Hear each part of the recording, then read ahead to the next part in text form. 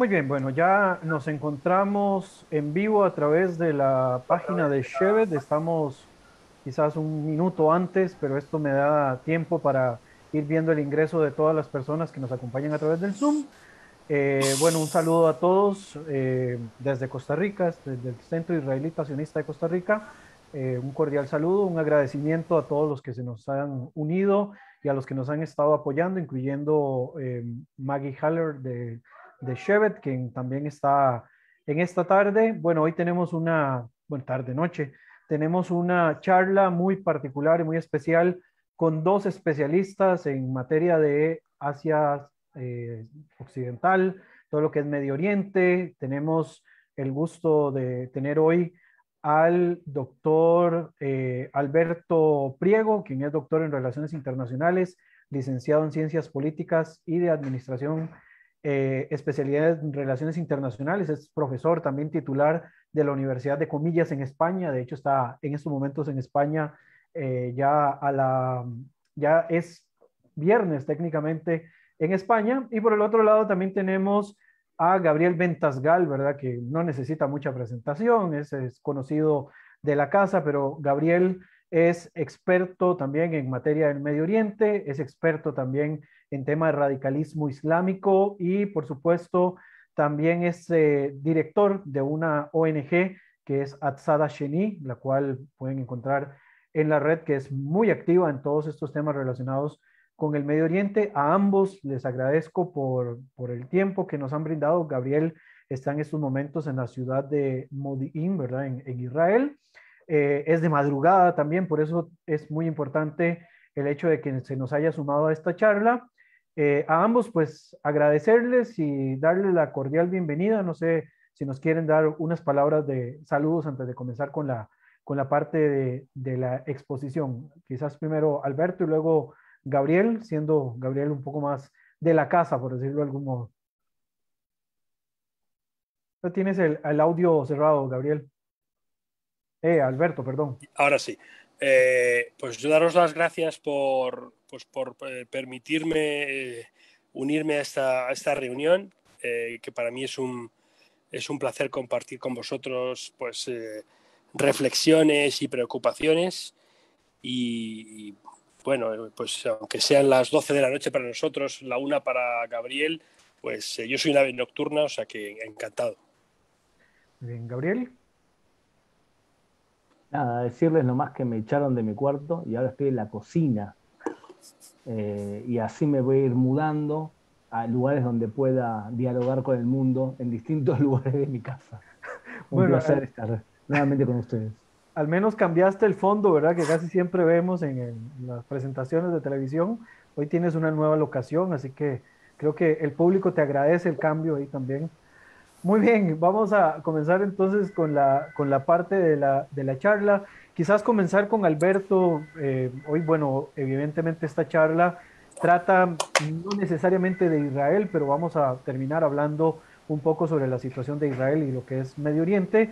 Alberto, ¿cuáles consideras que son las causas y los efectos inmediatos de la salida occidental de territorio afgano? ¿Cómo, cómo visualizas el tema relacionado con los derechos humanos, que es uno de los que más se ha replicado en los últimos días en, todos los medios de comunicación?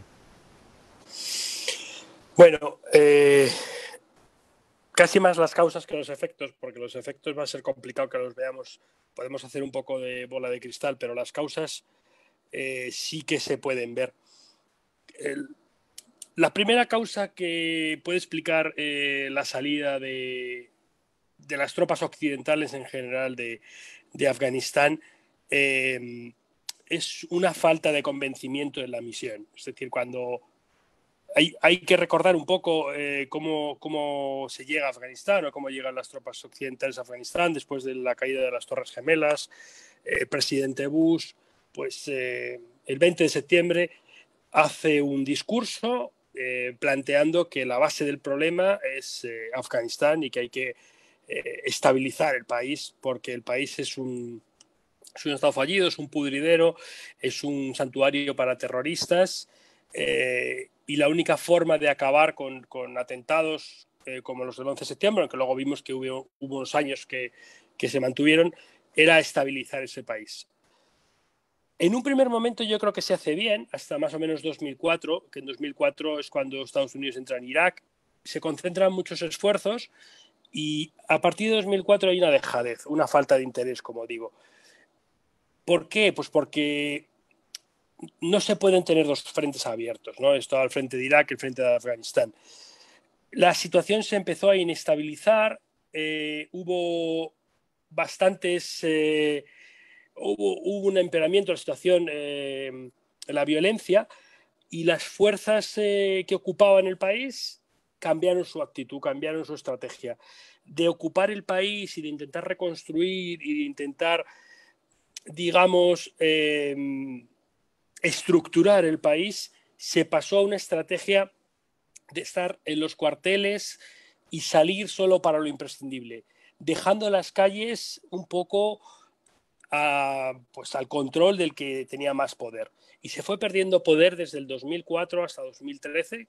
2013 se acaba o se anuncia que se acaba la, misión de estabilización y se mantiene una misión simplemente de asesoramiento al ejército afgano.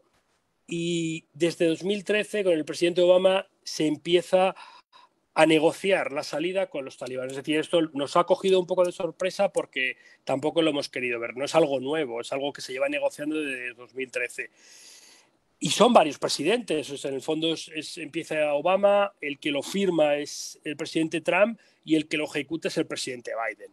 Entonces, las causas, pues eh, esa falta de interés. Segundo, eh, vivimos en sociedades posheroicas en las que no queremos ver que nuestros soldados mueren y que nuestros soldados matan. Por ejemplo, en España, que ha sido un, Estado que ha contribuido activamente a la misión de, la ISAF de la OTAN, eh, se vendía que los soldados españoles iban a repartir bocadillos a los niños por las calles cuando no era así. O sea, era entrar en, en acciones de combate y España ha tenido más de 100 muertos.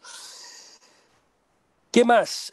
un desgaste, un desgaste en la opinión pública, un desgaste eh, económico. Nos han cogido dos crisis económicas, eh, las guerras son caras, eh, ha habido un hartazgo, tampoco se entendía muy bien qué es lo que se hacía en Afganistán. La población decía que por qué los soldados, los jóvenes de 20 años, pues tenían que ir a morir a sitios donde verdaderamente no veían la necesidad de estar.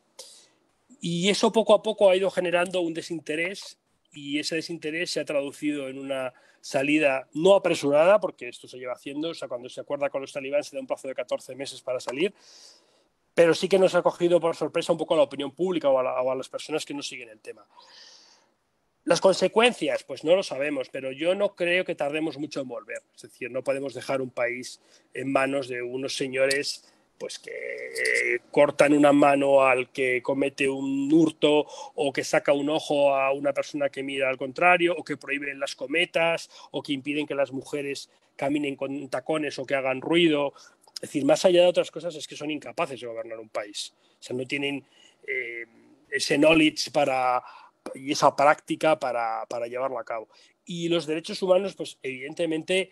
Eh, nunca se han respetado mucho en estos 20 años, ¿no? porque tampoco el, gobierno, digamos, afgano, el de Karzai, el de Abdullah, tampoco es que fuera lo más respetuoso del mundo, pero evidentemente ahora pues van a sufrir mucho las minorías, las mujeres. No solo es un problema religioso, es un problema étnico. Son pastunes, los tayikos, los uzbecos, los asaras, eh, todas estas minorías, pues evidentemente van a, van a sufrir. Y las consecuencias pues las veremos, pero yo yo sinceramente creo que más tarde, más pronto que tarde, pues acabaremos volviendo probablemente a Afganistán. Muy bien. Eh, bueno, la, la, parte quizás que más repercute, ¿verdad? Y por la que los medios pues han insistido con el tema de los derechos humanos y definitivamente hacen el clavo de que no, no se respetaron antes, ahora solamente se van a descarar un poco más.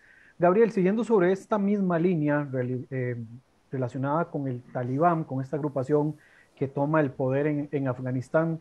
Desde una perspectiva, digamos, realista y, actual, ¿cuánto de este empoderamiento del talibán le puede dar alas a otras agrupaciones fundamentalistas islámicas para intentar también tomar eh, poder en sus zonas de influencia? Bueno, a nivel general, siempre que un grupo radical islámico alcance el poder, influye sobre otros porque los otros sienten que se puede, que es posible. De hecho, el primero que nos enseñó ese camino fue la Revolución Islámica. En 1979 eh, consiguen un primer éxito y eso incluso crea grupos radicales islámicos pro-iraníes, como por ejemplo la Jihad Islámica. O sea, la Jihad Islámica es producto de ese enamoramiento de Irán, hacia Irán. El segundo éxito que tuvieron los radicales islámicos fue la expulsión de Rusia de Afganistán. O sea que si entendemos que en el año 79 con Irán y en los años 80 con Afganistán fueron dos grandes logros para el radicalismo islámico y de hecho en los años 80 vemos casi todos los grupos radicales islámicos conocidos fundarse por esa época. Eh, el Qaeda se fundó en el 80 o en el 88, según como lo quieran ver. Hamas en el 85 o en el 87, Hezbollah en el 82.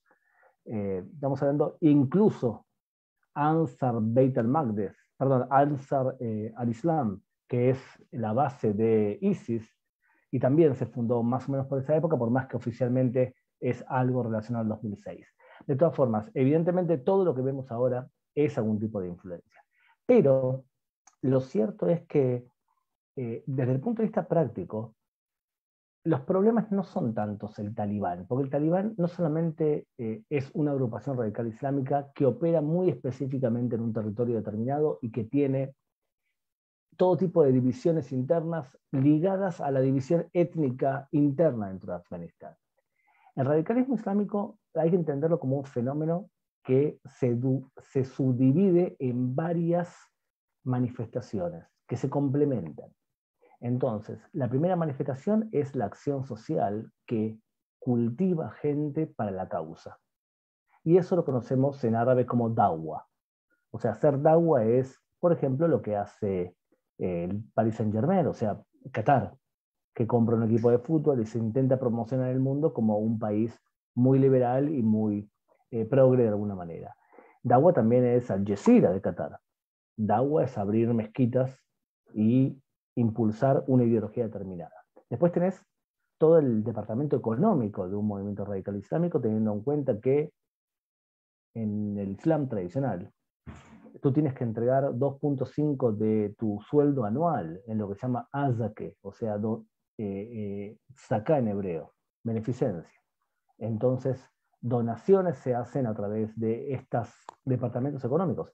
Luego tenés una, una, comisión religiosa dirigida con una comisión de la Shura, del comité que rige al movimiento radical islámico, y después tenés una ala militar, pero están todos relacionados. En Europa en general se hace una diferenciación muy artificial y muy primitiva de un movimiento radical islámico y se piensa que nosotros condenamos a Hezbollah solamente en su rama militar y consideramos que el brazo político es la Madre Teresa de Calcuta. En general, lo que vemos es que el radicalismo islámico se manifiesta en muchas formas y no solamente desde el punto de vista militar. Ahora, puntualmente con respecto a Estados Unidos. Si el objetivo de Estados Unidos en el 2001 fue imponer una democracia al estilo occidental, evidentemente no tuvo éxito. Y no iba a tener éxito tampoco. Era imposible implementar una democracia en Medio Oriente al sistema occidental. Es imposible. Yo sé que esto lo que estoy diciendo es demasiado tajante, pero no tengo la menor duda que una democracia como conocemos y como ustedes conocen específicamente en Costa Rica es inviable en Medio Oriente y si después quieren explico por qué.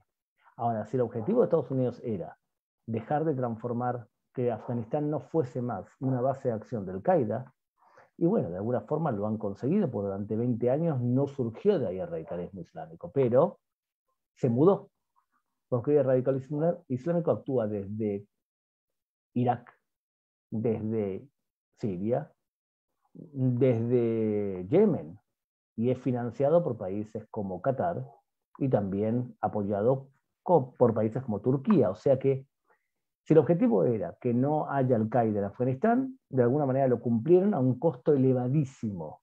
23.000 soldados y un trillón de dólares es mucho dinero y mucho gasto humano para cualquier país. Si el objetivo era ese, bueno. Ahora, otro punto sería hasta qué punto la retirada fue eh, organizada o lógica o bien hecha.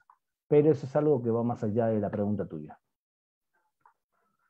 Sí, eh, genial. Eh, aprovechando, digamos, este, este, esta mención que hace Gabriel con respecto a, zonas de influencia donde se ha movido también un poco este tema del integrismo o el radicalismo islámico, me viene, digamos, otra pregunta de carácter geopolítico, tal vez en este caso para Alberto.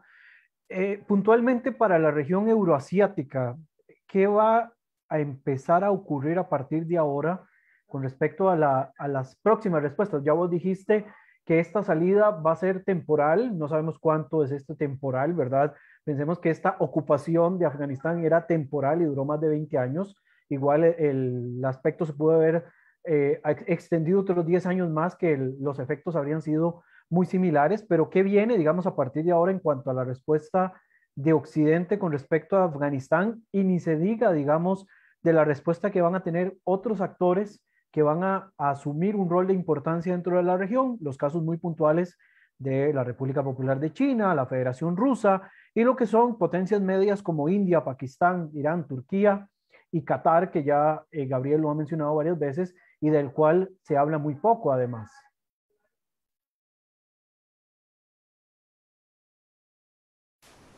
Es para mí la pregunta, ¿verdad? Sí, Alberto, para Sí, a ver, eh, aquí podemos, podemos ver ¿no? los que ganan y los que pierden, un poco, ¿no? Como eso que, que a veces en los periódicos encontramos que dicen suben y bajan. Pues los que ganan y los que pierden. A corto plazo, Estados Unidos podemos decir que gana, ¿no? porque Estados Unidos sale de un sitio que le está costando vidas, dinero. Eh, leí hoy, eh, no sé en qué periódico, que el 60% de la población americana eh, quería que salieran de allí, ¿no?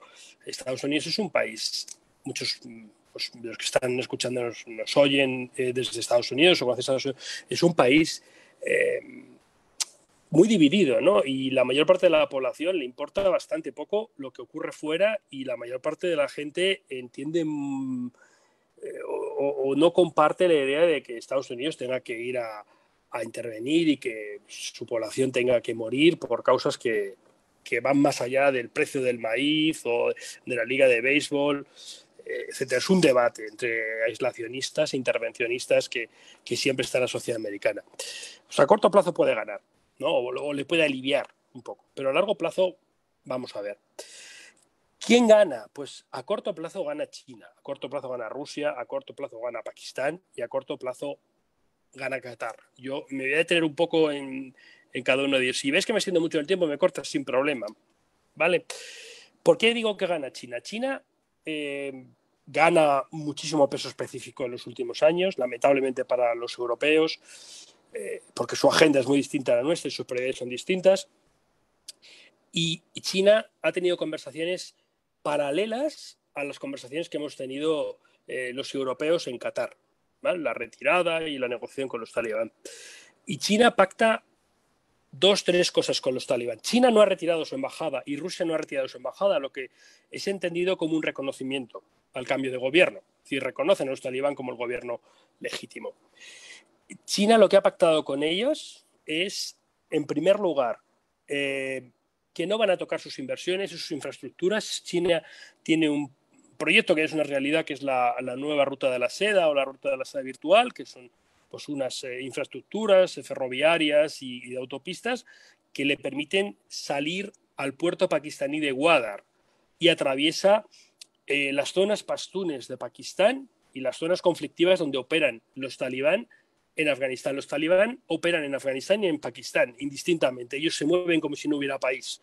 La frontera es la famosa línea Durán que trazó eh, un gobernador británico, pero para ellos no hay frontera. Entonces, China ha pactado con eso, eso con los talibán a cambio de reconocimiento, respeto, y ha pactado eh, que los talibán no influyan en Xinjiang y que no apoyen el radicalismo en Xinjiang. ¿Quién está en contra de China? Pues los que aparentemente han cometido el atentado terrorista hoy, ¿no? que es la, facción del ISIS eh, de Jorazán o de Khorasan, que son unos talibán, digamos, renegados, que son eh, talibán que se han salido de la línea oficial y que le han jurado lealtad al Estado Islámico y que eh, buscan crear eh, Jorasan, que es una región más amplia, y crear otra especie de emirato distinto. Por lo tanto, lo que han pactado los chinos es te reconocemos a cambio de que nos respetes, de que no atentes y que no vayas contra nosotros.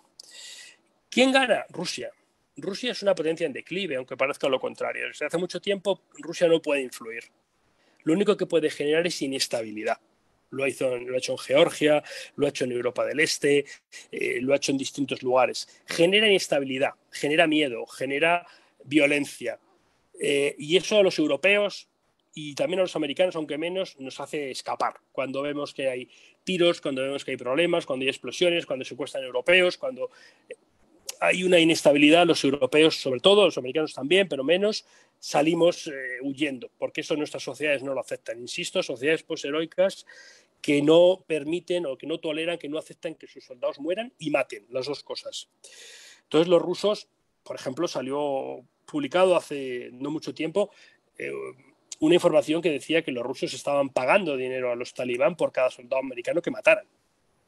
Entonces, Rusia probablemente tiene un problema porque está muy cerca de, Afganistán y la violencia la va a acabar llegando, pero a corto plazo la salida de los americanos es una derrota del enemigo imperial y esa retórica que tanto le gusta a Putin. Gana Pakistán. Pakistán es el creador de los talibán.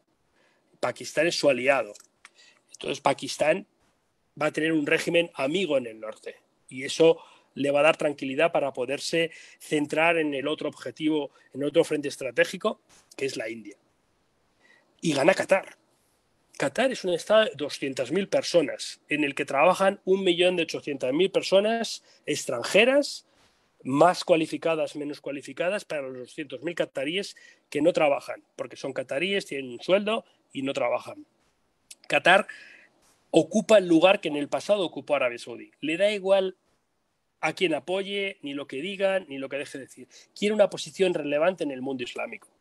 Y siempre ha jugado a ser eh, digamos, la contraparte de Arabia Saudí. Son wahhabíes los dos, además Arabia Saudí ha emprendido otra línea, eh, digamos que ocupa el lugar respecto a los talibán que ocupó Arabia Saudí en el año 2000.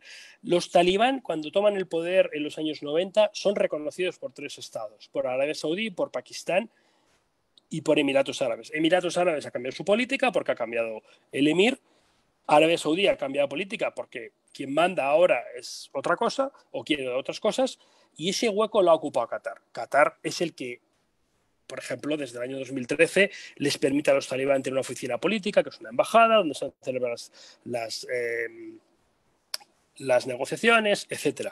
Entonces Qatar tiene una posición en el mundo mucho más grande de la que tenía y eso es su objetivo fundamental. Quieren notoriedad a través de la compra de equipos de fútbol, la organización de mundiales, apoyo a Hamas, a los talibán, lo que sea, o, comprando, o, promoviendo vuelos baratos que pasen por su aeropuerto para que la gente diga que ha estado en Qatar. ¿Y quién pierde? Pues pierde Irán, pierde y la India, pierde la Unión Europea y a largo plazo pierde Estados Unidos. Irán es uno de los primeros países que va a notar las consecuencias y que ya lo están notando. Irán se ha enfrentado a los talibán para Irán tener los talibán ahí es un eh, foco de inestabilidad. El ejército afgano cuando salió huyendo, salió huyendo a Irán y los flujos de refugiados van a salir hacia Irán y están saliendo hacia Irán. Entonces Irán va a tener que mm, concentrarse más en esa frontera del este con Afganistán que, por ejemplo, la frontera con Irak o sus, eh, o sus eh, esfuerzos en, el Líbano, en Siria, en Yemen, en Bahrein, etcétera, o incluso en Europa, donde están eh, pues intentando influir y conseguir eh, cierto poder internacional. Venezuela, Argentina, podríamos seguir, Y creo que no me dejo ninguno, pero, pero en todo caso, yo creo que es una mala noticia para todos. Los americanos han sido acusados por los chinos y por los rusos en el pasado, por ejemplo, de no hacer todo lo posible eh, para frenar el tráfico de drogas de Afganistán. Afganistán es el primer productor mundial del opio. Un 90% del, opio que se consume en el mundo procede de Afganistán. Y los rusos, por ejemplo, tenían muchos problemas de consumo entre la población. Entonces, vamos a ver qué ocurre en los próximos meses, porque los que hoy se alegran, a lo mejor en los próximos eh, meses, pues eh, no están tan contentos. creo que dentro del análisis nos hizo falta el papel de Turquía, que no sé si también tiene algún rol que vos veas que sea importante de destacar en este caso. Turquía es una incógnita, porque juega otra cosa, ¿no? Y Turquía eh, juega a tener influencia en los países que se llaman de la turquicidad, ¿no? Los étnicamente turcos en Asia Central. Y esos países eh, no están tan contentos con la llegada de los talibán. Por ejemplo, Uzbekistán es frontera directa con, con, Afganistán y el paso natural por el que los soviéticos entraron en Afganistán es el paso de Termés.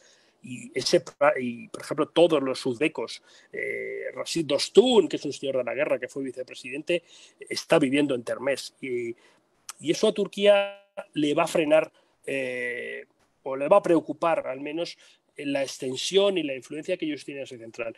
Turquía necesita estabilidad en los países de Asia Central, en Azerbaiyán, en Turkmenistán, en Kazajstán, Turkmenistán, y eso, eh, la llegada de los talibán no va a suponer precisamente eh, una buena noticia para los turcos.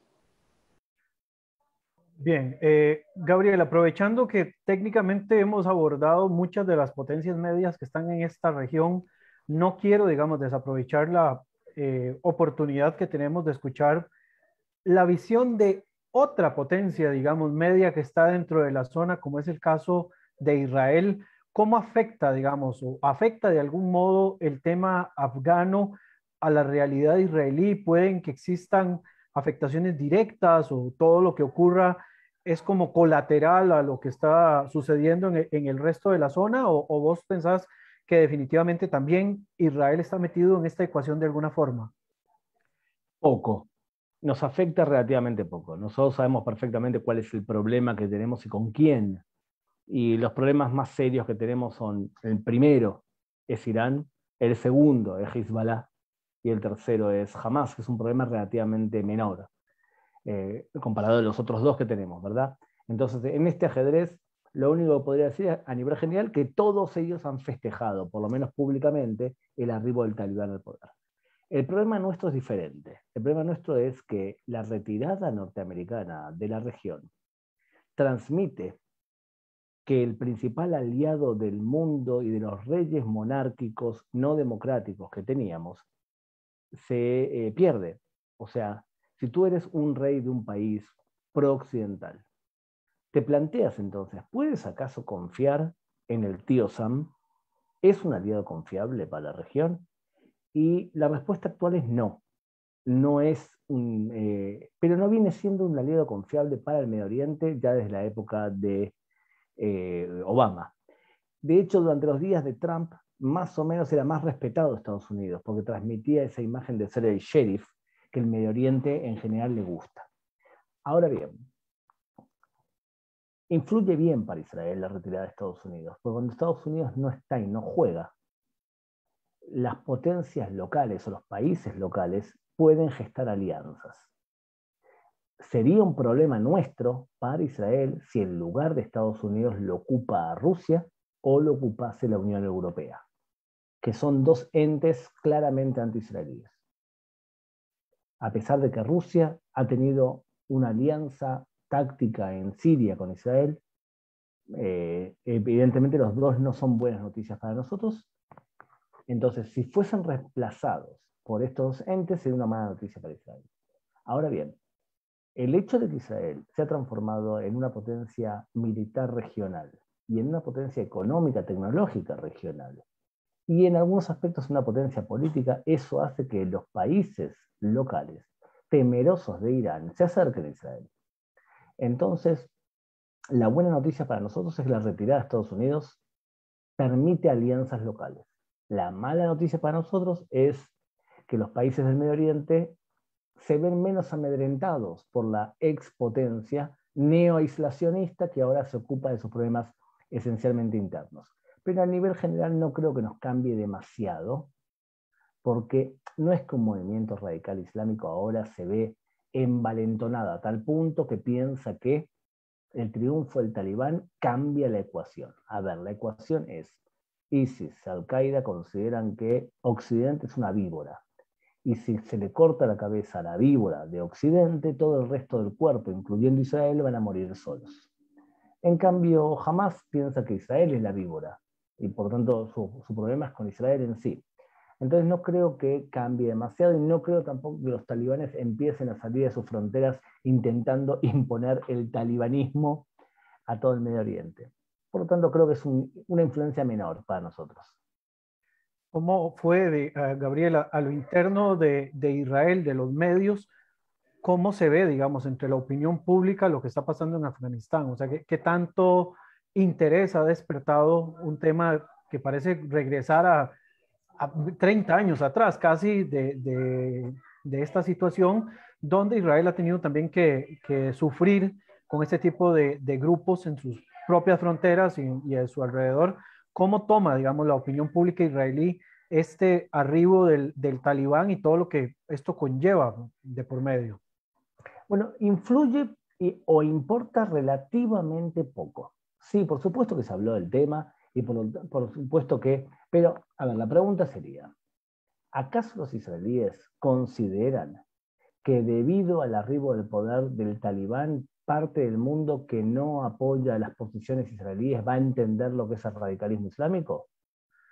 Bueno, muchos israelíes, entre ellos yo, somos bastante escépticos que el talibán ayude a alguien a entender algo, porque parecería ser que cuando se habla del talibán todos tenemos claros qué significa violar los derechos humanos, cuando se trata de un tema más cercano a Israel, como por ejemplo lo que hacen los palestinos, ya eso se interpreta de otra forma. Ahora bien, lo que preocupa muchísimo a Israel es la postura de la Casa Blanca. Eso sí, eh, eso sí genera dudas. Porque desde el momento que Joe Biden dice, yo me voy a retirar porque no es una decisión mía, todos los gobiernos desde Obama hemos decidido retirarnos, pero yo voy a hacer una estrategia que es voy a capacitar la fuerza de seguridad del ejército afgano para que hagan frente a un posible levantamiento del talibán. Y además yo llegué a un acuerdo con el talibán en donde no me van a atacar a mí mientras me estoy retirando y también van a hablar con el gobierno pro-occidental que yo dejé para llegar a algún tipo de gobierno conjunto. Cuando uno lo presenta la cosa así y se da cuenta que el ejército afgano cayó en ocho horas y que el presidente pro-occidental huyó porque el talibán no cumplió su palabra y no se puso a negociar absolutamente con nadie, y que antes de retirarse, hoy, hay un atentado terrible, hecho por ISIS, pero festejado por el talibán. Y lo explico, no es que son enemigos. Hoy en muchos medios de comunicación occidentales los presentan como enemigos. El talibán frente a ISIS. Perdón, es bullshit. La gente que salió de las cárceles y que probablemente está detrás de este atentado no tiene un problema ideológico profundo con el talibán. La única diferencia es que el talibán está en un periodo que se conoce como taquía, significa ocultar la verdad, mientras que ISIS no tienen esas limitaciones. O sea, ambos grupos festejan el hecho que los atentados les permiten a ellos presentarse al mundo como los que causaron la expulsión de la potencia occidental. ¿Cuál es el objetivo de un grupo radical islámico hoy? Es intentar grabar en la mente que Afganistán sigue siendo el cementerio de los imperios. Alejandro Magno, los rusos y ahora los norteamericanos fuimos echados por nosotros. ¿Y cómo demostrás que, fue, que echaste a una potencia? Bueno, haciendo cosas como la de hoy, demostrando que tú tienes la sartén por el mango. El talibán también quiere hacer algo así. Evidentemente quiere hacer algo así. Pero yo creo que entendió que pasarse más de la raya, más de la cuenta con Occidente puede provocar una movilización de Occidente y que sean derrocados como ocurrió en el 2001-2002. O sea, que incites tanto contra Occidente que se movilice Occidente en tu contra. Y por eso creo que está optando por una política de taquilla, significa de ocultar la verdad, de mentir. Y no se difunden imágenes del talibán haciendo gimnasia y haciendo pesas o jugando a los autitos chocadores en los parques de diversiones o siendo entrevistados por mujeres. Todo eso es taquía. Están ocultando la verdad para no provocar a Occidente. La pregunta entonces va a ser qué pasará cuando mañana, Dios no quiera, hay un terremoto en algún otro lugar del mundo y toda la prensa internacional gire su rostro hacia ese nuevo lugar, hasta qué punto el talibán va a seguir manteniendo una postura supuestamente conciliadora. Yo lo dudo, ¿eh? lo dudo muchísimo que a la larga no quieran regresar a lo mismo. Por eso cuando, cuando Alberto decía eh, que él cree que va a volver Occidente, bueno, puede ser. ¿De qué depende? De lo que haga muchas veces el talibán y de otra cosa más. Depende de Internet. A diferencia hace, hace 20 años, cuando los medios de comunicación se nutrían principalmente del trabajo profesional, ahora cualquier persona que desde su teléfono móvil filma cómo las están atacando, cómo las están humillando, cómo las están violando, y esa imagen circula por el mundo a través de Instagram o de Twitter, eso puede provocar un efecto en las opiniones públicas mucho más grave que lo que puede provocar una crónica de CNN. Y si no recuerden la foto del niño muerto en la playa durante las olas emigratorias hacia Europa por la guerra en Siria. Esa foto tuvo muchísimo más efecto que lo que un análisis de un medio de comunicación oficial puede llegar a tener. Y por eso, si empezamos a ver en las próximas semanas muchas imágenes muy duras de cosas que están pasando en Afganistán relacionadas con la violación de los derechos humanos, puede ser que la opinión pública presione a los gobiernos y se haga algo. Pero si no ocurre eso, y el talibán se mantiene en su política de taquilla durante unos cuantos meses, puede ser que nos acostumbremos al talibán y luego nos distraemos con otros temas más actuales. Me, bueno, me, entra una duda con respecto a esto, quizás Alberto pueda abordar un poco más y, Gabriel luego complementarlo. Eh, relacionado, digamos, a esta, eh, a, la situación propiamente de lo, del, del, señalamiento a la posibilidad de regresar al terreno, que es algo, digamos, que en estos momentos más bien estamos viendo solo la, parte de salida, ¿verdad? Es tan así, tan mediático, que están quienes lo comparan con Saigón, ¿verdad? Con la, la salida de Vietnam pero ¿hasta qué punto? O sea, eh, y tal vez Alberto y luego Gabriel lo pueda ampliar un poco más desde su posición, ¿hasta qué punto podamos tener una, un regreso inmediato de Occidente a intentar volver a tomar el poder en Afganistán si China y Rusia terminan metidos de lleno dentro del territorio de Afganistán? O sea, ¿hasta dónde daría para que Occidente pueda decir, no, mira, nos equivocamos, nos devolvemos a una posición anterior. No, sé qué tan factible es. Y otra pregunta que me queda acá, que tiene que ver con una cuestión un poco más material, es en qué va a parar el asunto del tráfico internacional de drogas, que, bien mencionó en algún momento Alberto con respecto al opio, y el tema de los recursos estratégicos que tiene eh, Afganistán, que llaman mucho la atención, principalmente de China, que es uno de los grandes consumidores de tierras raras. Entonces, sé que hice como una mezcla de preguntas, pero es lo que se me viene en este momento que me, que me parece que, que, es como más complejo de poder entender Cubo Vadis, Afganistán, ¿verdad? Esta pregunta casi siempre me surge con todas las charlas que hago, porque al final uno no ve el enfoque de hacia dónde se están dirigiendo los diferentes territorios en las circunstancias que están viviendo en lo inmediato. Alberto, tal vez primero y luego le habilitamos nuevamente a Gabriel la palabra. A ver, eh, la verdad es que si has dejado de seguir mucho el tema de Afganistán, como a mí me pasó, dicho sea de paso, eh, la situación te sorprende mucho porque estratégicamente Estados Unidos es una buena jugada. Me explico. Durante los años, desde 2007, 2015 más o menos, eh, que es cuando hay más inestabilidad en Afganistán, Estados Unidos, o sea, China y Rusia reprochaban a Estados Unidos, oye, que se te está desestabilizando Afganistán. Eh, esto no puede ser, porque a nosotros nos afecta. Y Estados Unidos lo que decía Rusia a China es, ya, ya, pero yo no soy una potencia de aquí. La potencia es, las potencias regionales soy China. Y entonces, en todas las conferencias internacionales, eh, en todas las declaraciones de los líderes americanos, siempre era, las potencias regionales tienen que asumir un mayor rol en Afganistán. Entonces, esto es un poco lo que ha pasado. Los americanos se han marchado y los que se quedan más afectados y que tienen que tomar un, una cierta eh, un paso hacia adelante son los chinos y los rusos. A ver, Rusia evidentemente no tiene capacidad para hacer absolutamente nada en Afganistán, pero de China dudo bastante que tenga capacidad para ejercer un cierto poder estabilizador en Afganistán. Entonces, a mí mm, me sorprende mucho la decisión de los chinos también pienso que deben tener algún tipo de, de plan pensado para que la inestabilidad de Afganistán no les salpique. Y lo que sí que es verdad es que los chinos, y probablemente esto les puede nublar un poco la razón, eh, están como locos por los recursos naturales de Afganistán, especialmente por el litio. El litio es el, material fundamental para las baterías y todo el mundo pues, sabe que el mundo va hacia un mundo más eléctrico, donde las baterías para móviles, para coches, para ordenadores, para tablets, para otras muchas cosas son fundamentales.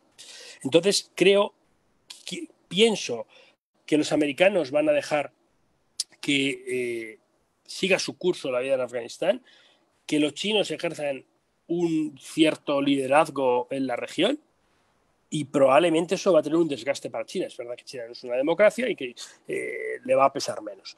Coincido con Gabriel, el, verdaderamente el problema es la opinión pública y cómo puede afectar eh, pues que alguien le corte el cuello a un niño y lo pongan en, en Twitter o que lo pongan en alguna red, eh, cómo las sociedades occidentales vamos a presionar a nuestros gobiernos para decir que esto no se puede hacer. Hay un elemento que yo lo he reflexionado ahora mientras estábamos hablando. Parece que los talibán llegan en el 2001 y no, los talibán llegan en el año 94. Entonces, entre el año 94 y el año 2001, ahí no pasa nada, no pasa nada porque no sabemos lo que pasa, pasan barbaridades, pero, pero no sabemos lo que pasa. Los talibán em, empiezan a ser un problema porque eh, caen las Torres Gemelas y se descubre que eh, Osama Bin Laden vive en Afganistán, está protegido por los talibán y desde ahí puede hacer ciertas cosas. Ahora los talibán, en principio, no cuentan o no apoyan o no se alían con ninguna organización terrorista de carácter global, en principio. Por lo tanto, el único problema que puede haber y que puede provocar una, una intervención es efectivamente la presión que puede ejercer la opinión pública, que es muy grande, ¿eh? cuidado, que es muy grande. Pero vamos a ver, y el tráfico de drogas ha sido el problema fundamental para estabilizar Afganistán, porque la droga es muy rentable. Entonces, eh, al ser tan rentable, esa inestabilidad necesaria para el cultivo y para el tráfico eh, de droga, pues era mm, estupenda en Afganistán. Entonces, los esfuerzos que se han podido llevar por un lado pues se han deshecho por otros. Por ejemplo, hubo una, hubo una iniciativa bastante buena de Irán eh, que era em, cultivar azafrán. ¿Y por qué azafrán? Bueno, pues porque Irán es el primer productor mundial de azafrán y porque el azafrán es muy caro. No es tan caro como la droga, pero eh, te permite dar una renta, conseguir rentas muy altas. Eh, la droga es muy rentable, te permite desestabilizar eh, ejércitos, sociedades, eh, los americanos, digamos, que le devolvieron la pelota a los soviéticos con el opio. Muchos soldados americanos en Vietnam se engancharon al opio, luego muchos soldados rusos se engancharon al opio en Afganistán y detrás de una ruta de droga y una ruta importante de droga de Afganistán pasa por Rusia, hay mafia, hay inestabilidad, hay problemas, hay crimen. Entonces, el problema del tráfico de drogas va a seguir ahí, porque no ha parado. De hecho, es más, se ha incrementado. Y, cuidado porque es verdad que la necesitan, pero por ejemplo, en el año 99 los talibán ofrecieron a las Naciones Unidas acabar con el cultivo de, opio a cambio de un reconocimiento internacional. Esa baza la pueden seguir teniendo. Vamos a ver qué pasa. Gabriel. Tienes cerrado el micrófono.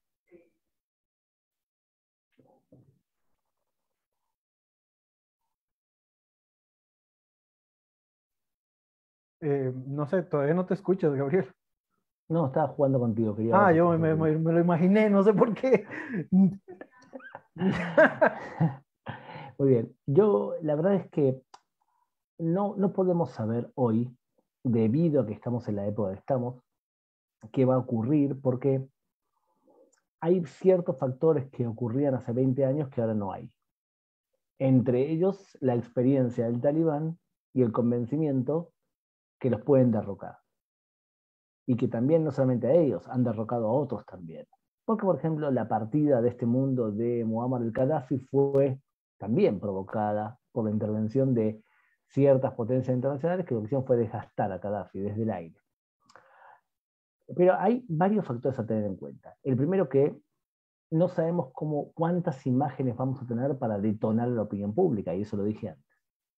Lo segundo, el modelo de acción de un grupo terrorista ya no es como es hace 20 años. O sea, a veces eh, en la prensa eh, se habla de la existencia de un modelo llamado el lobo solitario y no estamos ante un lobo solitario. No es el formato eh, que vemos actualmente. O sea, el formato que vemos actualmente es uno escrito por un ciudadano español, por más que él no nació en España, que se llama Abu Musa Absuri, Abu Musa del Sirio, que escribió un libro sobre la yihad global, y él explica lo que es el solo yihadismo. El solo yihadismo es tú te adoctrinas solo. Ves mucho material producido, muchas veces por ISIS, que explica las desgracias de Occidente, la humillación que se le hace a nuestros hermanos musulmanes y demás. Y tú te adoctrinas solo. Tú haces y planificas un atentado solo. Decides dónde hacerlo. Y tú lo ejecutas solo también. Y luego te filmas y dices que lo haces en nombre de ISIS, pero nadie te envió a hacerlo. O sea, tú lo haces todo absolutamente solo. Y ese tipo de atentados es muy complicado de detener. Si ustedes, por ejemplo, recuerdan el atentado en la peatonal, en la Rambla de Cataluña, eh, en Barcelona, eh, del 2017. Si recuerdan, empezó un atentado como un hecho organizado por una célula terrorista que intentaba volar el Camp Nou, la, eh, la Sagrada Familia y quizás la Torre Eiffel. Y para eso había juntado unas bombonas de butano que iban a explotar en un momento determinado. Cuando eso le salió mal porque le falló la tecnología más primitiva, el atentado se transformó en un solo yihadista, porque el terrorista lo que hizo fue, se apropió de una, de una camioneta y empezó a atropellar gente en las ramblas. O sea que el atentado es más complicado hoy que lo que veamos sea un atentado organizado por alguien que digita todo desde un país determinado, sino que es mucho más fácil para un Estado que fomenta el terrorismo hacerlo a través del solo yihadismo de alguna manera. Fíjense, hay países que son premiados, como dije antes, por la comunidad internacional y son felicitados y les entregan incluso eh, mundiales para organizar, por más que hayan sobornado a medio mundo, como por ejemplo Qatar. Qatar no solamente hace todo lo que acabo de decir ahora, Qatar tiene incluso unas peliculitas progres que circulan por internet en castellano, que son de AJ, o sea, Al Jazeera. Al Jazeera te hace peliculitas progres cuando dentro de su país mueren 6.000 trabajadores extranjeros construyendo los estadios de fútbol. Un país como este puede fomentar algo sin necesidad de ellos ejecutarlo, sino permitiendo que otros lo hagan. Por tanto, creo que en 20 años han cambiado mucho las condiciones, como para poder pensar que lo que sucedió antes se va a repetir ahora. Creo que el talibán entendió los peligros de provocar de más Occidente. Creo que puede ser que lo que quieren hacer, que es reimplementar la Sharia, no la puedan hacer sin sufrir el costo de que mucha gente filme lo que están haciendo. Y también creo que difícilmente Afganistán va a ser el principal centro de acción de grupos radicales islámicos porque ya lo son en otros lugares. No necesitan Afganistán para algo así.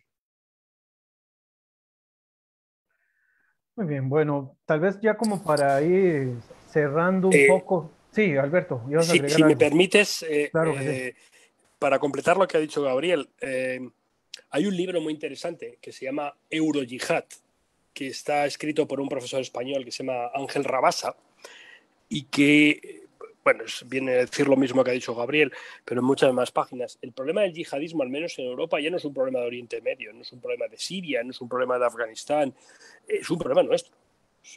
Eh, lo que nos dice este libro es, ustedes lo que tienen es un problema eh, de marginación social entre determinados grupos, que muchos son europeos con pasaporte español eh, o francés, nacidos en nuestros países, y, y es gente que ya no va a Siria a luchar o a entrenarse o que no son profesionales de, la yihad, sino que son chavales, muchos de ellos eh, bastante chapuzas a la hora de ejecutar los atentados, pero que pueden hacer mucho daño, evidentemente.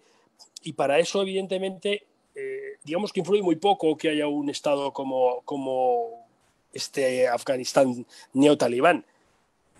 Es verdad yo creo que la única cosa que puede influir es que, al igual que se sintieron atraídos muchos jóvenes europeos, sobre todo belgas, eh, suecos, eh, británicos, por, por, el Estado Islámico y la forma de vivir en Siria y en Irak, puede haber algunos que se sientan atraídos y que vayan a vivir a, o intenten vivir en, en Afganistán. Pero, pero es verdad que ahí se ha, ha habido una fractura. yo tengo un artículo en el que hago una comparación entre el perfil medio del, yihadista de Al Qaeda y el del Estado Islámico y hay muchas diferencias. Algunas es la edad, otros es la formación eh, académica. En Al Qaeda muchos sean licenciados y, con el Estado Islámico muchos no tienen ni los estudios mínimos, muchos tienen problemas mentales, mientras que en Al Qaeda eran profesionales. Es decir, que es un tipo de yihadismo distinto el que vamos el, que seguimos teniendo aunque ahora mismo no lo veamos y también pues eh, ahí puede tener menos influencia eh, este nuevo estado que, vamos a ver. Hay una pregunta que de hecho no, no la había planteado, pero va muy de la mano con el tema de derechos humanos, pero también con el tema de seguridad. Carlos Einbinder nos pregunta a través de la transmisión de Facebook, bueno, nos hace primero un comentario eh, que va a llegar a ser peor, ¿verdad? Que está demostrado por la pasividad de lo que ocurre en Afganistán y hace un planteamiento que no sé ustedes cómo lo ven, es un planteamiento que ocurrió también con Siria, hace un planteamiento que se, que se ha dado con, con las migraciones de magrebíes y de saharianos, que es que entre la masiva eh, de refugiados, entre la gran ola de refugiados que hay, que si también existe la posibilidad o que se tenga sospechas de que vaya a haber también entre estos filtraciones de terroristas que se quieran aprovechar para ingresar en países europeos y, en otros países donde se les esté dando algún tipo de asilo. Gabriel y tal vez luego Alberto. Permítame ser especialmente pesimista. El yihadista no necesita la ola inmigratoria para hacer algo. El yihadista hoy puede entrar a América Latina sin ningún problema consiguiéndose un pasaporte venezolano. Y ayer nos hemos enterado en Perú que un hombre con antecedentes peligrosos deambula por el continente con un pasaporte venezolano sin hablar una palabra de español. O sea que no es complicado. Y entrar a la Unión Europea siendo yihadista es, creo yo, aún más fácil todavía. Entonces no creo que sea un problema ese especialmente.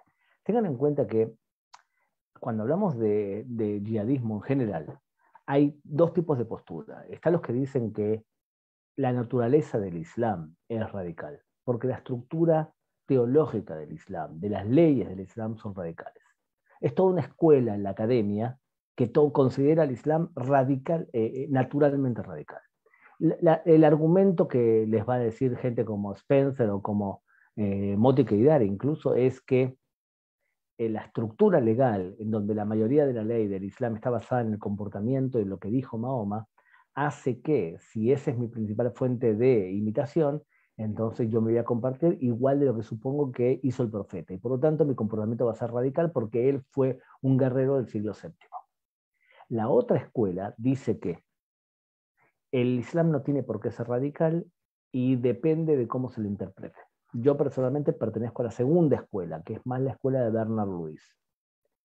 Entonces, si tomamos la segunda escuela, podemos llegar a suponer que una persona que en el Medio Oriente es radical, pero que vive en una sociedad más moderada, puede interpretar la ley de forma más moderada. ¿Ok? Entonces, perfectamente, personas que lleguen a Occidente podrían llegar a moderarse. De todas formas, tengamos en cuenta que la gran mayoría de personas no piensan de forma radical, pero tendría que explicar cómo se mide eso. Y la gran minoría de la minoría hace algún tipo de atentado terrorista. Lo que sí puedo decir es que es muy fácil hacer hoy un atentado terrorista, es muy fácil planificarlo, es muy fácil ejecutarlo, y es verdad que son muchas veces acciones chapuceras, pero con que uno salga bien, el efecto propagandístico del mismo es terrible. Por lo tanto, eh, eh, es un problema porque el terrorismo islámico es una idea, no es una organización. Hoy se llama Talibán, mañana se va a llamar eh, eh, eh, el Qaeda y pasado mañana se va a llamar Hamastan, no importa el nombre, la idea es lo importante. Y derrotar una idea es complicado a menos que los que quieran derrocar esa idea quieran hacerlo. Y yo no estoy seguro que Occidente está por la labor de derrocar al radicalismo islámico desde el punto de vista conceptual. Eh, todavía Occidente está sumido en un relativismo moral que no está dispuesto a ensuciarse las manos para decir las cosas lamentablemente como son.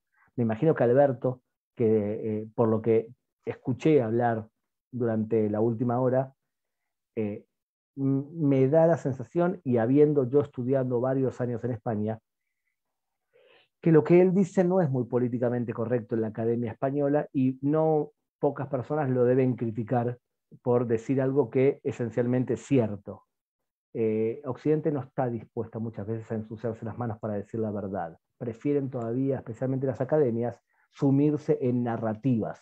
Y cuando academias y universidades son narrativistas y no buscan la verdad, ahí tenemos el principio del problema, ¿por qué no podemos derrotar a una idea como el radicalismo islámico?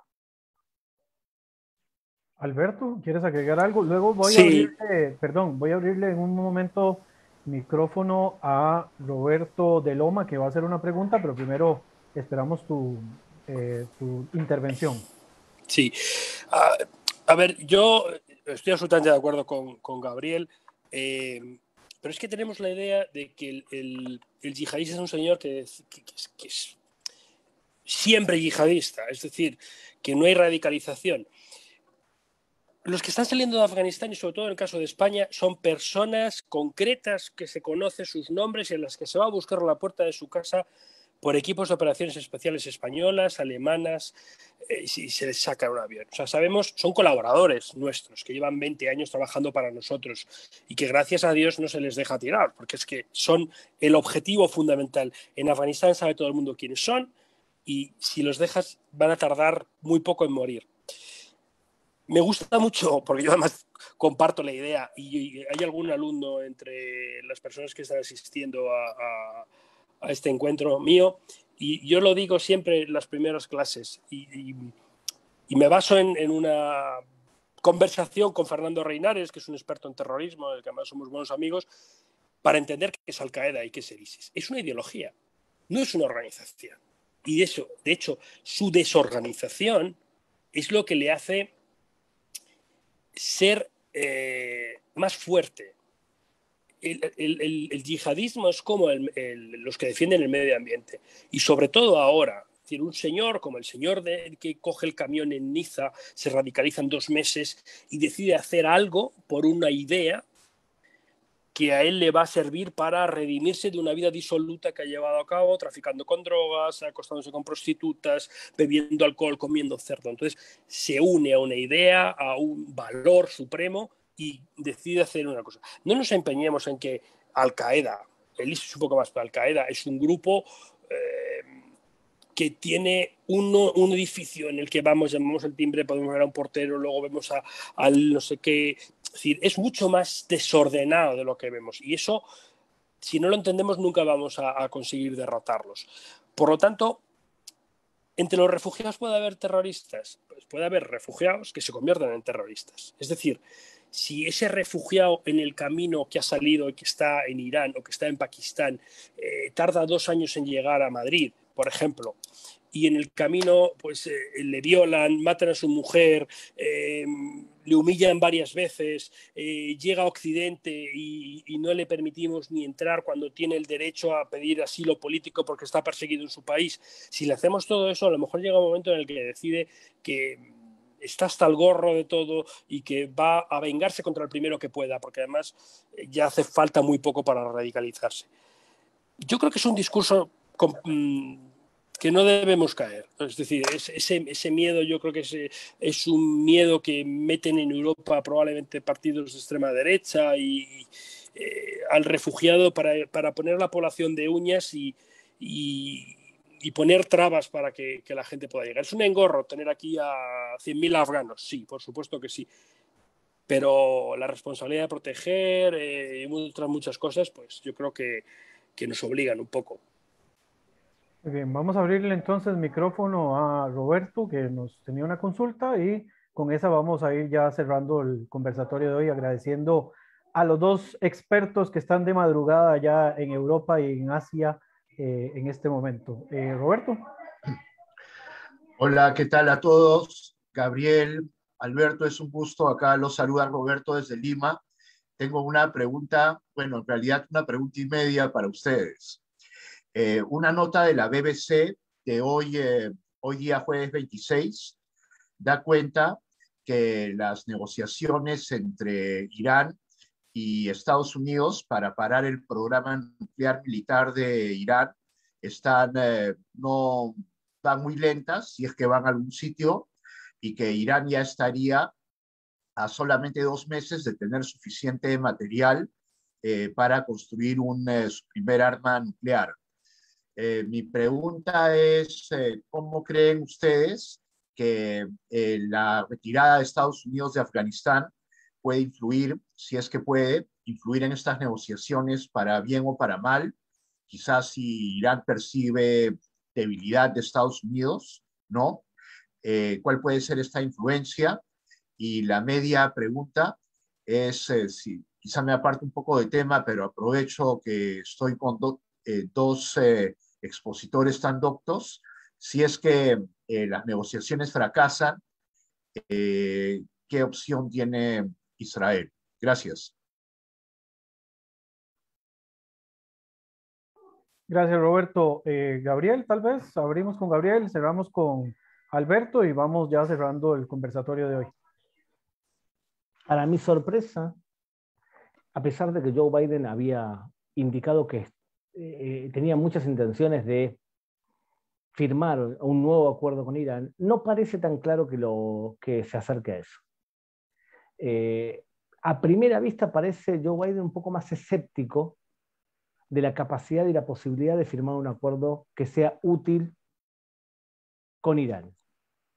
Quizás por una cuestión táctica, la posibilidad de hacerlo cumplir, la posibilidad que realmente haya un, ¿saben qué? La posibilidad real de que sirva para algo.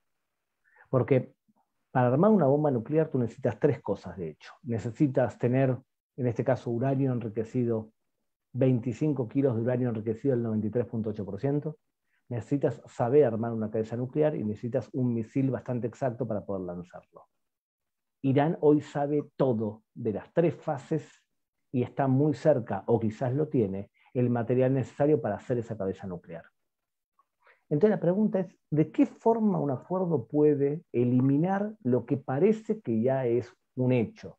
Benny Gantz dijo ayer que están a dos meses de armar una cabeza nuclear perfectamente puede ser menos tiempo. La pregunta es, ¿cuál de las tres condiciones tienen? Porque recordemos que eh, durante el acuerdo nuclear anterior se le permitió a Irán seguir estudiando cómo centrifugar uranio muchísimo más rápido de lo que hacían antes, y ahora lo tienen. Entonces es complicado. Ahora bien, yo no creo que sea una amenaza existencial para Israel lo que acabo de explicar ahora sí pienso que eso va a provocar dos cosas. Lo primero, que todo el Medio Oriente entre en una carrera nuclear con países que sabemos que tienen ya bombas nucleares.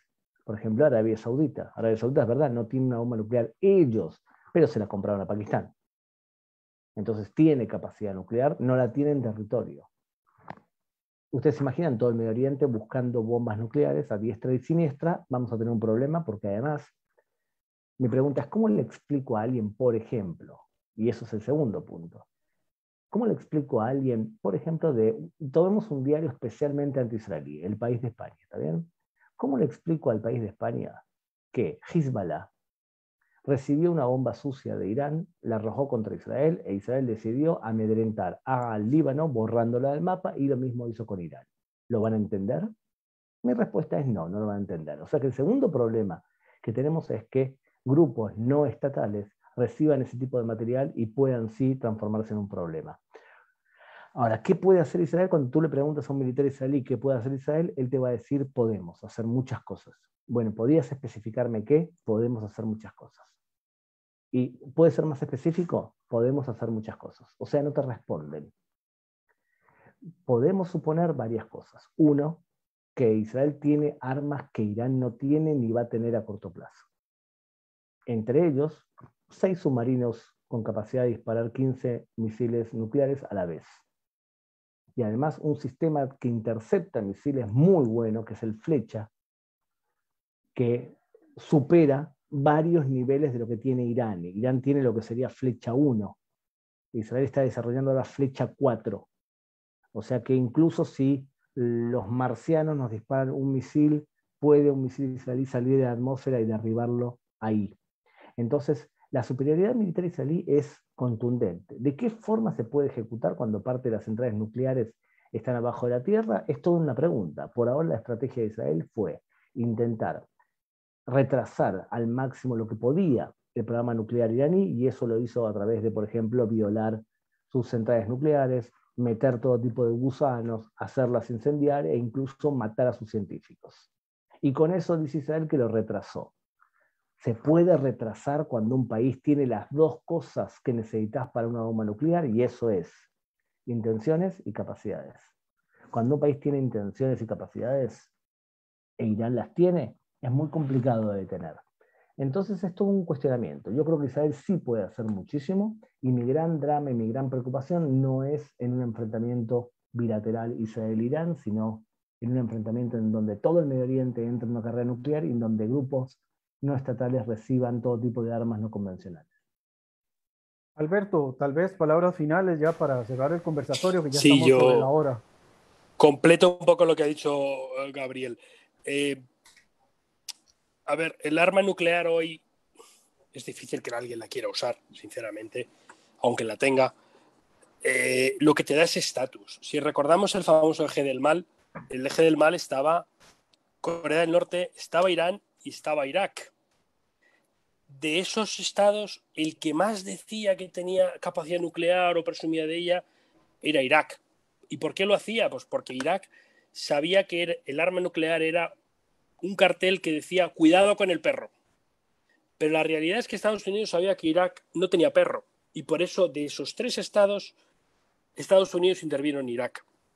Entonces, el arma nuclear lo que te da es capacidad de disuasión. Pakistán es un estado terrorífico, pero nadie se mete con ellos porque tiene, eh, tiene armas nucleares y las tiene para que la India no le borre del mapa. Irán creemos que no la tiene, pero la puede tener, es verdad. Y el acuerdo nuclear no es más que un reconocimiento de una situación de facto que se daba. A ver, el acuerdo nuclear es malo por muchas cosas, pero, sobre todo por una cuestión de la que casi no se ha hablado, y es que permite a Irán descongelar, o permitido Irán descongelar un montón de fondos que ha permitido que Irán alimente a sus grupos asociados, a Hezbollah, a los Houthis, etcétera y que haga pues, eh, una proyección en América Latina y en otros lugares del mundo que le da muchísimo mayor estatus internacional. Yo creo que Israel lo está haciendo bien respecto de Irán. Está retrasando todo lo que puede el programa nuclear porque resulta complicado un ataque sobre Irán, por muchos motivos. Algunos los ha dicho Gabriel. Porque casi todas sus... Eh, instalaciones nucleares están bajo tierra y en zonas montañosas, porque hay muchísima distancia entre eh, Israel e Irán. Y un ataque aéreo resulta muy complicado porque tendrían que poner repostaje en vuelo. Eh, todos estos motivos, eh, los militares israelíes se lo pusieron, dos jefes de Estado Mayor se lo pusieron, entre ellos Benny a Netanyahu por escrito desde el año 2011. Entonces, el objetivo de Israel es evitar que desarrolle armas nucleares, posponerlo e intentar provocar un cambio de régimen. Es verdad que es un objetivo a medio plazo y no es a largo plazo, pero el mundo actual no es un mundo con tantas certezas. Entonces vamos a ver cómo evoluciona y también vamos a ver ahora cómo funciona Irán con un problema como el que tiene eh, en Afganistán. Ok, bueno, Gabriel, Alberto, la verdad, muy agradecidos y la gente pues no deja de escribirnos ahí en el chat del agradecimiento por, por darnos esta charla tan espectacular para todos los que nos acompañaron, agradecerle a la organización Shevet, a la organización también a Tada Sheni, que tenemos aquí a su director, uno de los expositores, Gabriel Ventasgal, y por supuesto a Alberto Priego, profesor de la Universidad de Comillas, por la oportunidad y por el tiempo. Y a todos ustedes también agradecerles por habernos acompañado y los esperamos en próximas charlas. Muchas gracias, buenas tardes y buenas noches y casi buenos días allá en el otro lado del mundo. Hasta luego. Un agradecimiento a la señora Maggie, que, está detrás de cámara y, organiza cosas de muy alto nivel. Acá la veo en una cámara a la izquierda, eh, un gran aporte al mundo judío. Así es, muchísimas gracias a todos y que tengan buena noche. Adiós Alberto, cuídate.